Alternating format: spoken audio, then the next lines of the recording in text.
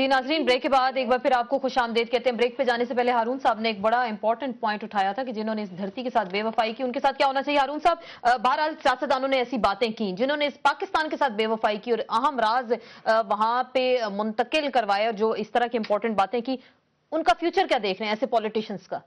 नहीं मुंतकिल नहीं कराए उन्होंने अपने आप को बेचा। एक्सपोज किया उनके सामने। वो माफ़ी मांगे और चले जाए।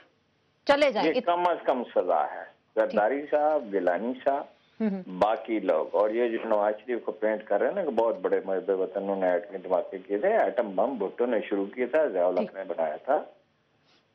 उन्होंने एटमी धमाके किए बड़ा अच्छा किया लेकिन सारी कौम की हमायत से किया। लेकिन डिक्टेशन तो नहीं ली ना ये बात तो माने ना आप। नहीं, आप जैसा लेते आप जैसा मारूजी मारूजी बातें करने वाला अक्सर नहीं मैं नाराज़ ना हूँ। मेरी एक जुमला सुन ले। मेरा एक जुमला सुन ले। देखें अरुण रशीद साहब हम भाई भी हैं मैं आपका बहुत एहतराम करता हूँ अल्हम्दुलिल्लाह और आप भी मेरा एहतराम करते हैं। लेकिन मारूजी तौर पर उन्होंने डिक्टेशन तो नहीं ली ना ये तो माने ना आप। नहीं लेते रहे डिक्टेशन शुरू में वो तो आज रहे था हैं। हाँ, लेकिन भी ले रहे हैं। अमेरिका से। आज भी ले रहे हैं। आज भी ले रहे हैं। जी हाँ, जी। और इनके लीडर तो इन्होंने मुल्क के अवाम की कभी हैं, नुमाइंदगी नहीं तो की कभी गैरत का मुजाहरा नहीं किया। हाँ, हाँ। और कसूरी साहब एक गैरतमंद आदमी है मुझे आज ताज्जुब है ये कैसी गुफ्तगू कर रहे हैं। इस मुल्क के अवाम बेहमियत नहीं है। इसकी पॉलिटिकल क्लास और हुक्मरान तबका और सनतकार और जागीरदार उन्होंने बेहमीती का मुजाहरा किया गैर मुल्कियों के सामने। इन सबको इंशाल्लाह हम बहरा अरब में फेंकेंगे। बहरा अरब में फेंके कैसे फेंक सकते हैं हारून साहब? अभी पाकिस्तान ये आप खुद देख लेंगे अपनी आँखों के साथ कि हम इनको बहर अरब में फेंकेंगे। इस ज़िंदगी से बेहतर है हम मर जाए। जी हारून साहब हमारे साथ लाइन तो पे हैं? दो बातें अपनी एक्सट्रीम पे कह दी लेकिन उन्होंने। कहा ना ऐसे सियासतदानों को बहरा अरब में उठा के दो बातें जिन्होंने इस तरह की बात मुझे इजाज़त देंगे जी। दो एक्सट्रीम पे बातें की हैं। एक तो ये कि इससे बेहतर है हम मर जाएँ। दूसरा कहते हैं हम फेंकेंगे।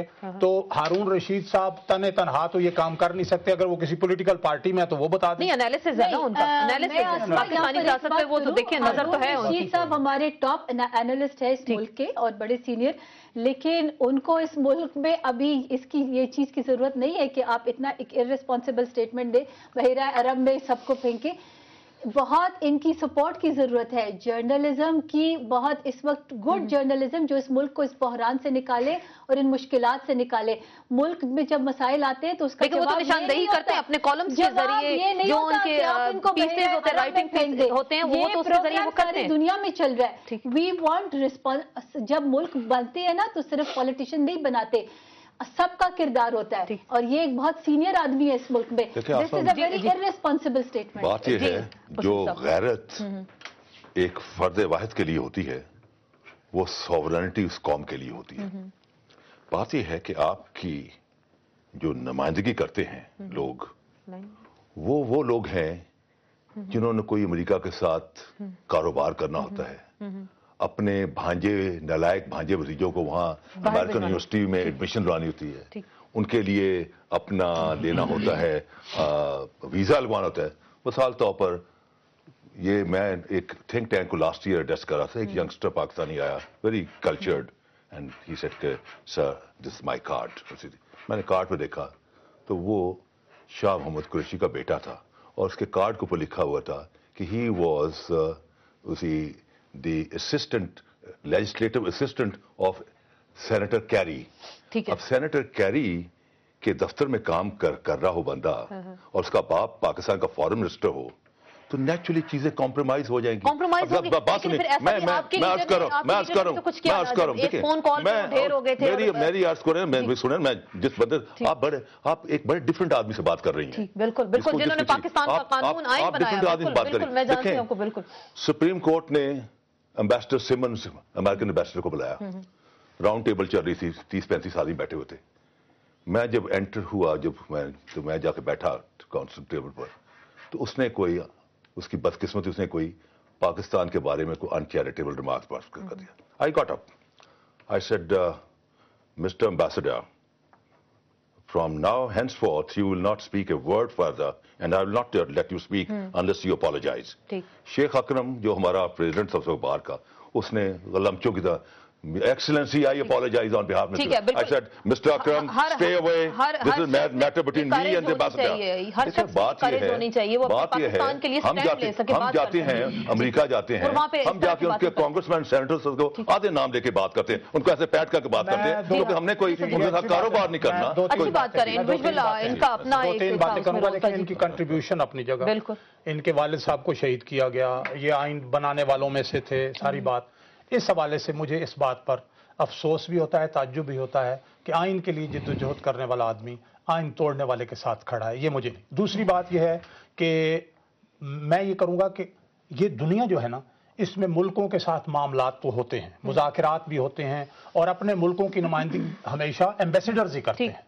अब देखना यह है कि पाकिस्तान के मफादात किसी मुल्क के साथ वो ईरान के साथ बिल्कुल हर मुल्क के साथ। है लेकिन आप आप एक देख- अमरीकी सफीर को देखना ये है। इतनी इतनी इंपॉर्टेंस देते हैं कि उसके सामने इतनी अहम बातें जब हमारी लीडरशिप अपने वसाइल पर एतमाद नहीं करेगी अपने मुल्क के वसाइल जनरेट नहीं करेगी अपनी इकोनॉमी को ठीक नहीं करेगी अपने मुल्क को वो भी तो मुलाकात करते हैं ना। अमरीकी सफीर के साथ मुलाकात करना मैंने तो ये कहा मुलाकातें तो मुलाकातें होती है लेकिन बातें तो बहुत सारी राजों ने आज तो उसमें होते हैं बाहर से अगर वज़ीर वज़ीर आज़म आते हैं तो वो भी नवाज़ शरीफ को मिलने बिल्कुल बड़ी आम बात ये तो अलग बात है लेकिन नहीं एक। जुमला लेकिन होना ये चाहिए कि मुल्क के और दूसरे मुल्क के मफादात में जहाँ म्यूचुअली कन्वर्जेंट हो जहाँ हम्म। दोनों के मफादात में बराबरी हो वहाँ मामलात अगर हों बराबरी तो है। बराबरी तो होनी तो चाहिए कि साहब एक पॉइंट ये उठाया जा रहा है कि क्या इसकी टाइमिंग ठीक थी ये जो विकी लीग सामने आई है और इसका बेनिफिशियरी कौन है इस तरह के पॉइंट्स भी उठाए जा रहे हैं और ये क्या टाइमिंग इसकी ठीक थी कि जो ऐसे टाइम पे ये सामने आई। हेलो जी जी जी हारून साहब आपसे पूछूँ कि क्या आप फ्यूचर क्या देख रहे हैं इस हवाले से विकी लीक्स के हवाले से? क्या ये टाइमिंग ठीक थी? फैसला तो अल्लाह ताला ने किया ठीक। कि जब अल्लाह ने ये देखा कि ये तो अमेरिका को अपना खुदा मानते हैं तो जो हमारा खालिक और मालिक है जिसने ये कायनात और हयात पैदा की है हम्म, तो उसने अपने फरिश्तों से कहा इनको बताओ कि इनका मालिक और खालिक कौन है? और उसने एक आश्चर्य के दिमाग में ये ख्याल डाला कि ये सब तुम अपना इनको बता दो। ठीक। और उसने हमें बता दिया और हमें पता चला ये तो बूझने हैं। बोने हैं बालिश्ती हैं सिवाय इमरान खान के इनमें कोई एक भी ऐसा शख्स नहीं है जो पूरे कद से खड़ा हो सके। हम्म, और माफ़ी चाहता हूँ तीसरी दफ़ा कह रहा हूँ गुस्ताखी है। बड़े अदब से माफ़ी माँगता हूँ। हम्म। कसूरी साहब से बेताजुब है कि डट के क्यों पूरे कद से नहीं खड़े हो जाते। बुल्ले शाह के शहर के रहने वाले हैं। मुनाफों के शहर का वो बहादुर आदमी था उसके ये वारिस है। और इन्होंने इतनी बहादुरी का मुजाहरा किया था कि भुट्टो ने इनको कत्ल करने का फैसला किया और इनके वालिद को कत्ल कर डाला। लेकिन ये खड़े। रहे पूरे कद के साथ। आज इनको क्या हो। गया आज इन्हें क्या क्या हो मैं इसका आप जवाब देते मुझे क्लोजिंग देनी है बात ये बात ये है। कि मिलिट्री जनरल जो हाँ, है। हाँ। उस पर कोई कदगन नहीं है। सिर्फ़ कदगन एक है कि दो साल आप इंतज़ार करें। और अब वो पॉलिटिकली आ रहा है। आ रहे हैं, ठीक है, तो आप समझ रहे हैं जनरल है। डिगॉल भी जनरल था। ही appeared to be most powerful हाँ, हाँ। पॉलिटिशियन ऑफ़ फ्रांस जी, अपना हाँ। General general Eisenhower was a general appear proved to be a most hmm. powerful Up, up, up, president up. he is going to be either general de Gaulle or general uh, Eisenhower of Pakistan जी आसमा आखिरी बात सब मुख्तसरन मानते हैं बताएँगे लेकिन जिन generals के ये नाम ले रहे हो उन्होंने कानून कॉन्स्टिट्यूशन ठीक है, और, हारून साहब ने ये भी कहा कि आप लोग उन्होंने expose हुए हैं, बुरे तरीके से expose हुए हैं, ये जो जैसे सामने आई हैं। हैं कि मुशर्रफ कोई नहीं है तो अगर जैसे इन्होंने शाह महमूद कुरैशी के तो क्या किसी पाकिस्तानी को हक नहीं हम्म। है इफ़ इज़ केपेबल तो वाई नॉट मेरे मेरे दूसरा ठीक। दूसरी दूसरी बात ज़रूर। एक मिनट दूसरी बात मैं मैं ये कहूँगी जी जी कि मतलब दिस ये जो अभी इल्ज़ाम लग रहे हैं हमारी हुकूमत के ऊपर और ये एक देखें इंडियन प्रेशर भी है इधर इधर इस मुल्क इस दुनिया में इस इंटरनेशनल प्रेशर है एक बहुत बड़ी इकोनॉमी बन गई है। पाकिस्तान को अपने आप को मैं अब एक stable जुमला कर जी, stabilize इमरान खान करना साहब है बात की है। बात की है अखबार नवीस और मेरे भाई जनाब हारून रशीद जी। ने। इमरान खान साहब आए तो परवेज मुशर्रफ के साथ रेफरेंडम में सपोर्ट किया उसके बाद जनाब माफ़ी मांगी, माफ़ी माफ़ी भी मांगी फिर उसके बाद जनाब इलेक्शन लड़े फिर उसके बाद जनाब इस्तीफा दिया फिर बाइकाट किया। बाइकाट के बाद फिर जिमनी इलेक्शन लड़ने शुरू कर दिए। है है, है, अगर तो तो है। खालिद बिन तो। वलीद का हमला कामयाब हो जाता तो इस्लाम वाइप आउट हो जाता। और वही शख्स जब इस्लाम में आता है तो वो सैफुल्ला बनता है। अगर एक डेमो एक डिक्टेटर एक डेमोक्रेटिक रोल में आना आप कह रहे चाहता हैं। उसको वेलकम कहना चाहिए। बहुत बहुत शुक्रिया आपका बाबा।